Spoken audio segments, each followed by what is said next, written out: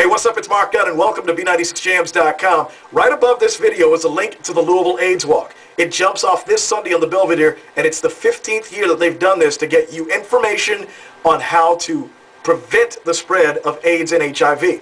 We get involved in this every year because, quite frankly, there are a lot of us in the African American community that just don't get it. AIDS and HIV are killing us at eight times the rate of whites.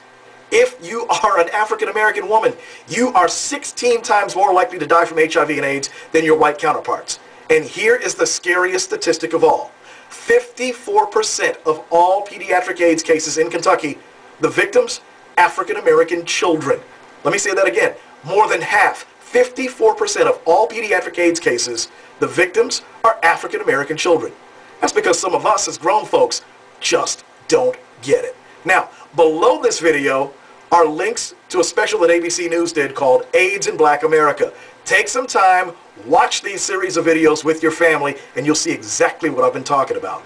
Once you watch that, then go above this video to click the Louisville AIDS link and get signed up. Now, if you want to join my team in particular, shoot me an email and let me know, all right? You can find my email address just through sending it through this website, okay?